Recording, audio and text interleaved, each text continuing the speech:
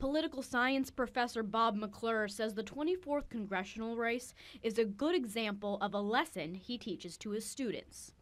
That the most difficult thing to learn to do in democracy is to lose. However, one candidate had no issue admitting defeat. Ursula Rozum of the Green Party delivered her concession speech last night.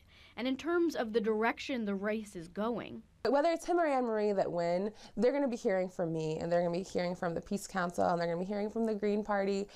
And so um, I think that Dan might be a little bit easier to work with on some of the issues that we care about. Now, just to give you some perspective on the discrepancy of resources between the Green Party and the other two candidates, this is the Green Party headquarters.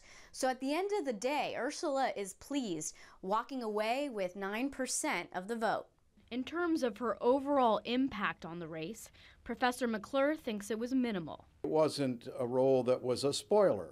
Um, uh, had she been absent from the race, I presume that Dan Maffei's margins um, would be slightly higher. So is this the end of Rozum's political career? You'll be hearing from me, and I might not be the candidate, but you know the Green Party, we're, we're not going away, and we hope that um, next time we'll see more Green voters, and I hope that my supporters are here to stay as well. They may not be the victors, but third party candidates are here to stay. Reporting in Syracuse, I'm Dora Scheidel.